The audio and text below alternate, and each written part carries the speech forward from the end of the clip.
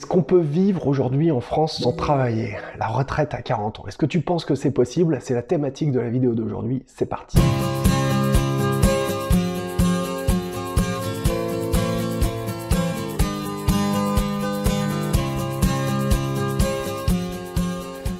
Bienvenue sur cette chaîne Liberté, Finance et Frugalisme. Je crois que la vidéo d'aujourd'hui, c'est peut-être une des vidéos les plus importantes que je vais faire sur cette thématique, puisque on va parler de ce qui est le cœur euh, de cette chaîne. En fin de compte, est-ce que c'est possible d'arriver à vivre en France sans travailler? Eh bien, euh, d'abord, je vais te demander de me lâcher un pouce, de t'abonner à la chaîne si tu ne l'as pas encore fait, et de cliquer la cloche parce que c'est important pour aider la vidéo à être bien représentée dans YouTube. Et je voudrais que tu m'écrives en commentaire ce que toi tu en penses. Est-ce que c'est possible de vivre en France aujourd'hui sans travailler? Et euh, si oui, comment? Euh, Voilà. Et sinon, pourquoi? Voilà, c'est des trucs, des, questions qui sont intéressantes pour essayer d'ouvrir le débat et de faire avancer le schmilblick. Donc, est-ce que c'est possible? À mon avis, ben, je vais te dire euh, deux choses. Euh, vivre en France sans travailler, ouais, je pense que c'est possible.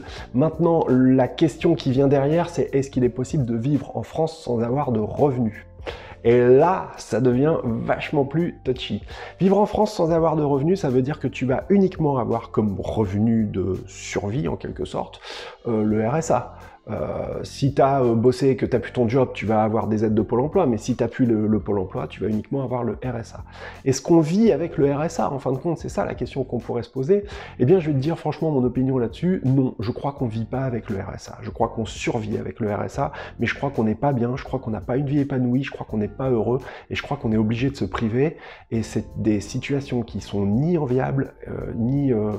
Enfin voilà, c'est des trucs qui sont super stressants. Je parle de ça en connaissance de cause parce que euh, quand j'étais plus jeune, au début, quand j'ai commencé à travailler, quand j'essayais du moins de travailler, ce qui était très très difficile, eh ben, il m'est arrivé de me retrouver à l'époque au RMI, voilà, euh, qui est l'ancêtre du RSA, revenu, c'était le revenu minimum d'insertion, d'accord? Euh, RSA, c'est le revenu de solidarité active. Eh ben, je peux te dire un truc, c'est que euh, c'était chaud, c'était super chaud et, euh, et, je faisais pas le malin et j'étais pas bien et j'étais super stressé et je savais absolument pas gérer le peu d'argent que j'avais donc c'était n'importe quoi. Je faisais n'importe quoi. Déjà je fumais à l'époque donc la clope, je t'explique, c'est juste un truc, tu crames ton argent littéralement, tu le fais partir en fumée. En plus tu te, tu te bousilles la santé. Voilà un petit peu le genre de truc. Après avec le temps, et eh ben j'ai appris à me former, mais je me suis formé à la dure c'est-à-dire en, faisant des boulettes, en faisant des bêtises, et donc, euh, in fine, en perdant beaucoup de temps. Se lancer, essayer de se lancer dans l'indépendance financière d'une certaine façon, sans acquérir une formation et une vision globale surtout qui soit suffisante pour arriver à vraiment comprendre notre environnement, je pense qu'aujourd'hui, si tu fais ça, tu as 9 chances sur 10 euh, de perdre de l'argent et de perdre du temps avant de comprendre euh, ce qu'il faut faire. Voilà. Et si j'avais eu la chance d'avoir une formation euh, comme celle que je propose aujourd'hui aux membres, eh ben, ça m'aurait vraiment permis de gagner beaucoup de temps. Je t'en parle d'ailleurs à propos cette formation, elle est actuellement à 300 euros. Il n'y a pas de prix ou de promotion ou de braderie que je vais faire spécial, spécial pour le Black Friday, pour une raison bien simple, c'est que je ne brade pas mon travail. Pour 300 euros, ce qui est vraiment déjà pas cher, il y a 300, euh, il y a 10 heures, il n'y a pas encore 300 heures, il y a 10 heures de formation euh, vidéo. Euh, il, y a, il y a des quiz, il y a des tas et des tas et des tas de bonus, d'outils que tu peux télécharger. voilà, il y a 4 heures de coaching personnel entre toi et moi pour vraiment t'aider à débloquer euh, certains nœuds, euh, essayer de faire en sorte que cette formation soit de sur-mesure en fonction de ton profil, en fonction de ta situation, en fonction de tes objectifs, Voilà, si tu veux, tout ça pour 300 balles, euh, je crois que c'est vraiment pas cher. C'était un prix que j'avais fait, euh, prix de lancement, prix d'appel si tu préfères, pour essayer de démarrer euh, la formation et commencer à avoir des retours dessus. Et ben, ce prix, ben, il va augmenter à la fin du mois, il passera à 387 euros. Donc voilà, je te le dis, je prends personne en traître, c'est clair, net et précis, et il n'y aura pas de promo pour le Black Friday parce que je ne vais pas brader mon travail. Mon travail, ça m'a demandé des centaines d'heures de, préparation, de travail pour le faire, donc non, il n'y a pas de raison que je le brade. Euh, voilà ce que je voulais dire, c'était pour le petit message. Et c'est hyper important, n'empêche, euh, de, te former, de lire aussi, parce que c'est aussi, je le dis au passage, le moyen le moins cher pour arriver à acquérir une expérience et une formation qui soit solide. Voilà, ça c'est dit. Maintenant, est-ce qu'on peut vivre en France sans travailler? On a vu euh, la question, est-ce qu'on peut vivre en France sans revenu Donc sans revenu, non, c'est vraiment chaud. Est-ce qu'on peut vivre en France sans travailler? Eh bien la réponse oui, évidemment, on peut vivre en France sans travailler. Mais encore faut-il arriver à définir ce qu'on entend par travailler. Si par travailler tu entends échanger ton temps, ton temps de vie in fine, contre de l'argent, eh bien oui, c'est tout à fait possible de vivre de ta passion, de vivre de ce que tu aimes, de vivre d'une activité qui va te rémunérer en fin de compte. Ce que je veux te dire, c'est que les revenus passifs, ça n'existe pas. On va être clair, net et précis. Tous ceux qui te disent ouais, les revenus passifs, vous allez voir, c'est génial, vous allez devenir milliardaire euh, ou je sais pas quoi. Non, non, non, non. On va remettre les choses à l'endroit. Revenus passifs, c'est une légende, ça n'existe pas, d'accord? Les revenus, il faut euh, comment dire travailler, il faut réfléchir. Euh, voilà. Moi, je préfère l'idée de Pareto 80-20, tu, plantes un arbre une fois, tu plantes une graine et cet arbre, il va te donner des fruits tous les ans. Mais n'empêche qu'il faut choisir l'arbre, le planter, faire le trou, etc. Et puis ensuite, il faut quand même en prendre soin, le protéger du gel chaque année. C'est du taf, c'est ça que je veux te dire. La bourse, c'est du taf, l'immobilier, c'est du taf. C'est peut-être très peu de taf, on peut le minimiser, mais dire qu'il n'y a pas de boulot et que c'est complètement passif, ça c'est du mensonge, c'est faux. Euh, et de toute façon, il faut à minima te former pour éviter de faire euh, des boulettes.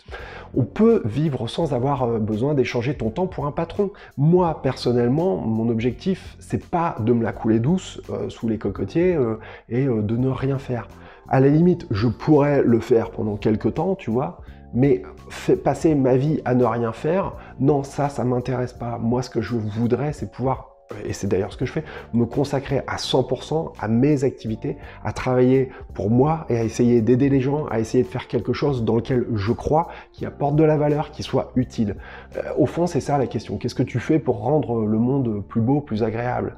Dis-toi un truc, c'est que une mère de famille célibataire qui a trois gosses et qui doit travailler seule pour élever ses gamins, comment veux-tu qu'elle aille faire en plus de ça euh, du, bénévolat? Tu vois, ça devient compliqué parce que son urgence, c'est de faire en sorte que la maison elle tourne, que tout soit euh, à peu près comme il faut, et puis d'essayer de faire en sorte d'arriver à boucler les fins de mois. C'est ça qu'il faut comprendre. Mais quand tu as le luxe de ne plus avoir besoin euh, de travailler ou que tu as beaucoup moins ce stress, et eh bien forcément tu deviens libre de pouvoir par exemple consacrer du temps à du bénévolat, de pouvoir consacrer du temps à ta passion, de pouvoir consacrer du temps à ta famille, à ce que tu aimes. C'est possible, c'est tout à fait possible à différentes échelles. Ça se fait pas comme ça en un claquement de doigts, il faut pas croire que du jour au lendemain, tu te retrouves à être comme ça, les pieds en l'air. Ça, c'est bon pour ceux qui gagnent au loto. Vas-y, si tu as envie de jouer au loto, euh, ben, félicitations, va, va jouer, mais tu as 90% de chances d'aller enrichir euh, ce qui était les caisses de l'État auparavant, mais ce qui est privatisé aujourd'hui, c'est-à-dire la Française des Jeux. Hein. Donc, euh, bon, voilà, il faut relativiser un petit peu les choses et aussi les remettre à l'endroit. Je pense que c'est quand même essentiel si on veut essayer d'avoir une vision globale qui nous permette d'avancer dans le bon sens tout en étant réaliste. C'est pour moi quelque chose qui est essentiel. Ce qui pourrait tout à fait être envisageable, c'est que au lieu de te dire ah bah demain j'arrête de bosser, tu le fasses par étapes.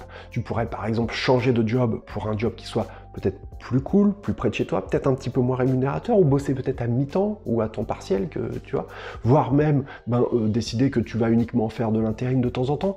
Ce que je veux te dire, c'est que l'indépendance financière, la liberté financière, la retraite à 40 ans, c'est pas tout blanc ou tout noir, c'est pas forcément quelque chose qui est aussi simple que de te dire ça y est, je m'arrête. Et là-dedans, on peut trouver des tas de nuances qui vont faire que toi, dans ton quotidien, dans ta réalité, tu vas vivre en étant mieux. En fin de compte, c'est ça notre objectif à tous, ne l'oublions pas, c'est d'essayer de retrouver une certaine forme de liberté, de bien-être au quotidien pour avoir plus de temps pour nous, pour ceux qu'on aime, pour nos familles, pour nos enfants. À mon avis, c'est là le secret, c'est là le truc qui est essentiel. Et ça, ben, il n'y a pas de secret, ça demande à, monter en puissance, à monter en expertise. Voilà, si tu veux aller plus loin, je rappelle qu'il y a d'autres vidéos hein, qui sont accessibles sur la chaîne et qui vont te donner un autre éclairage sur ce que tu peux faire. Il y a également un guide hein, que j'ai édité pour te donner des tas d'astuces, des conseils, des recommandations. N'hésite pas à aller voir vraiment et à fouiller dans les vidéos parce que chacune va aborder un thème qui va te donner peut-être une idée, un éclairage et parfois on aborde même des points qui sont très techniques comme par exemple les SCPI, comme par exemple les ETF, comme par exemple certains types d'immobilier, comme des garages, comme des biens en fin de défiscalisation Donc voilà, n'hésite pas à aller parcourir la chaîne, tu vas trouver tout un tas de vidéos sur des thématiques très précises qui devraient probablement t'intéresser et bien entendu beaucoup de vidéos aussi qui vont t'expliquer comment tu peux arriver simplement à faire des grosses économies et surtout sans se priver. C'est notre mot d'ordre. S'il te plaît, si tu veux me soutenir, n'hésite pas à partager cette vidéo sur Facebook, ça peut me permettre d'essayer de faire connaître la chaîne. Moi, je te souhaite une excellente journée et je te dis à demain. Salut